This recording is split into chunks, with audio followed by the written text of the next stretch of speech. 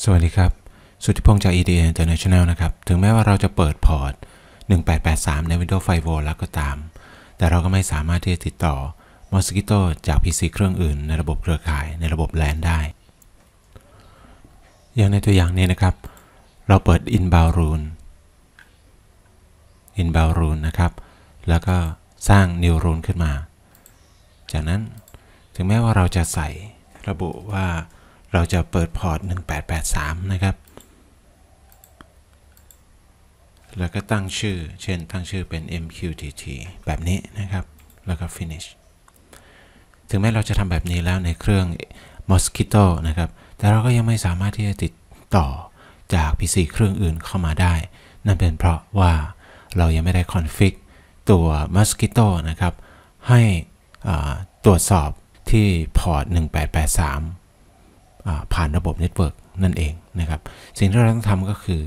ให้เปิด Notepad ขึ้นมานะครับ พิมพ์คำว่า Notepad แล้วคลิกขวาเลือก Run as Administrator จากนั้นก็เลือกไฟล์แล้วก็ Open ไปที่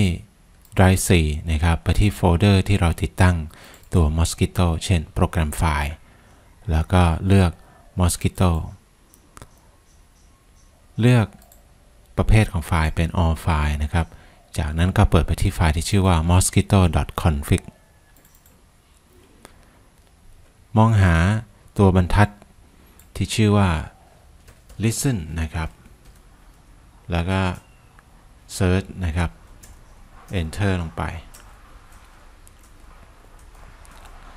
มาเรื่อย ๆ นะครับ จนเจอตรงนี้ครับบรรทัดนี้ บรรทัดนี้นะครับ ให้เอาเครื่องหมายชาร์ปออก ลบออกนะครับ แล้วก็พอร์ตนัมเบอร์1883 แบบนี้ แล้วก็เซฟนะครับผม เท่านี้เราก็สามารถที่จะติดต่อ จาก PC เครื่องอื่นมายัง Mosquito เครื่องนี้ได้นะครับ แต่อย่าลืมสต็อปแล้วก็สตาร์ท Mosquito ใหม่นะครับ โดยเปิดมาที่ CMD นะครับ แล้วก็ net stop mosquito แล้วก็ start ใหม่นะครับ net start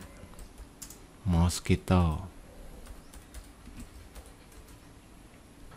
access deny เพราะว่าเรายังไม่ได้ใช้สิทธิ์ run as administrator นะครับเอาใหม่ cmd นะครับ แล้วก็คลิกขวา run as administrator แล้วก็ net stop แล้วก็ net start ใหม่อันนี้สมมติผม net start ละนะครับ mosquito นะครับ โอเค แค่นี้แหละนะครับ จากนั้นก็ลองติดต่อเข้ามาใหม่ก็